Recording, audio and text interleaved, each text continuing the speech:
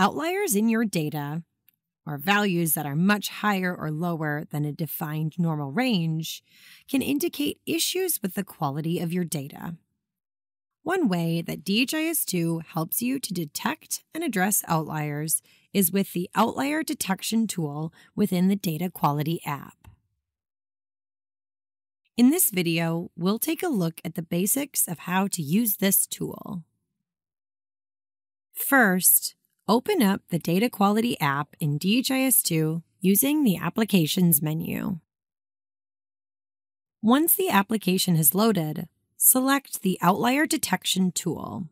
You'll then be taken to the Dimension Selection area.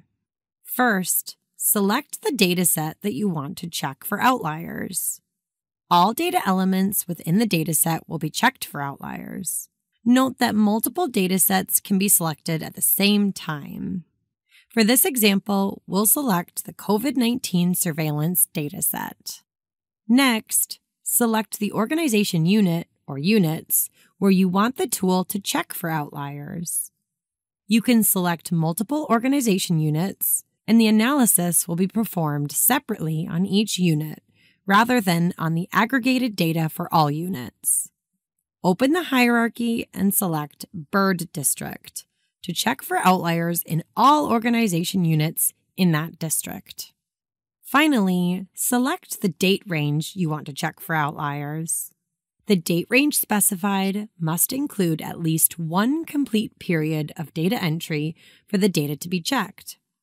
For example, let's check over a four month period so we'll choose the 1st of May as the start date.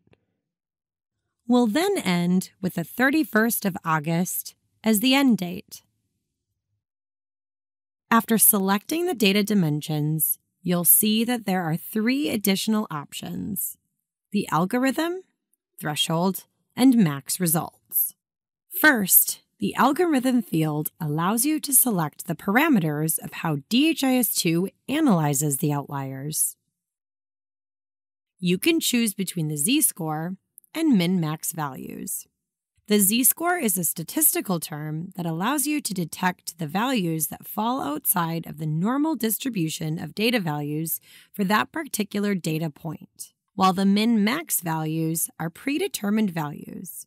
And using this option will identify values outside of that set range.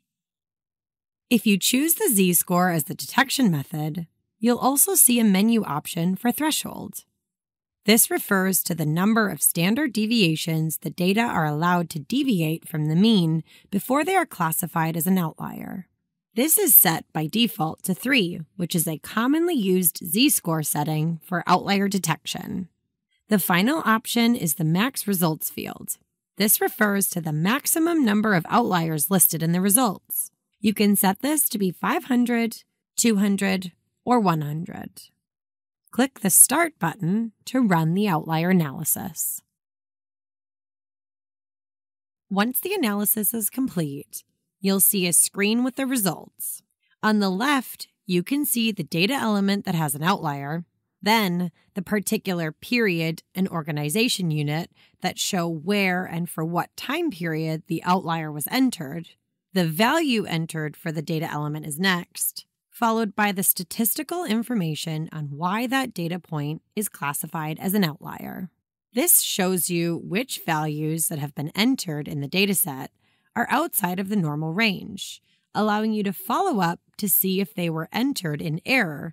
For example, if a wrong number was entered by mistake, or if it is a true statistical anomaly which may merit further investigation. The last column on the outlier detection results screen is the follow up button. This is used to mark a data value for follow up in the Data Quality Follow Up Analysis tool. You will learn more about follow up analysis in the next video.